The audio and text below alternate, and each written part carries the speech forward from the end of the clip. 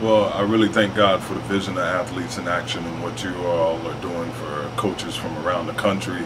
Uh, it's an opportunity for us to come up here to Xenia and really just to relax and be ourselves and just learn how to be better stewards of the responsibility that we have on our respective campuses of being head coaches and mentors uh, to the young people that we encounter every day and also the community at large.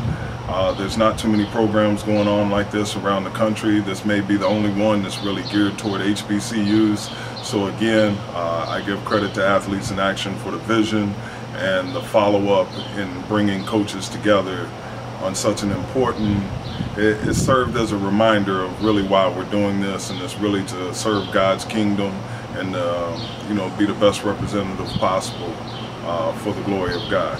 Yes, I challenge the coaches here. We have a lot of young and new coaches and I challenge them to make sure they establish three important people in their lives and that is a mentor, someone that you can call on, someone that you can meet with that you actually know and the mentor has actually been where you are currently at. Um, also, I thought it's important for us to establish a mentee, someone that we're mentoring. Uh, there's a young coach out there watching you, no matter what level you serve on on your particular staff. As an assistant coach, there's a younger assistant coach. Uh, there may be a coach that wants to get to where you are at as an assistant coach. So a mentor, a mentee, and then the third one was an equal.